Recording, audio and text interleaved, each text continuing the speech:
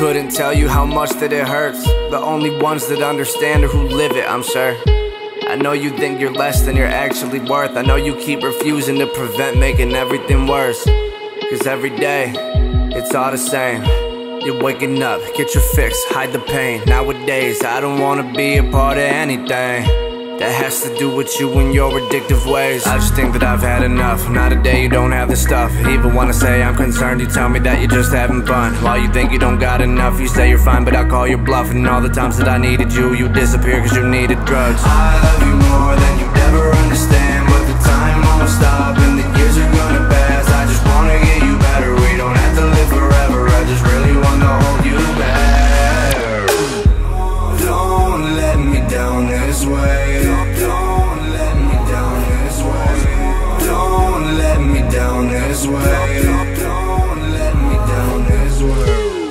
I think it's time you get your shit together and go back to that person that I knew much better.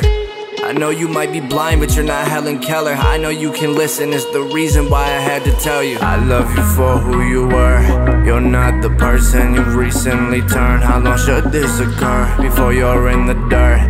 I'm almost certain addiction's a curse. Yeah. If this is your decision, then I have to watch you fall. You contaminate your body, you contaminate us all. I don't wanna let you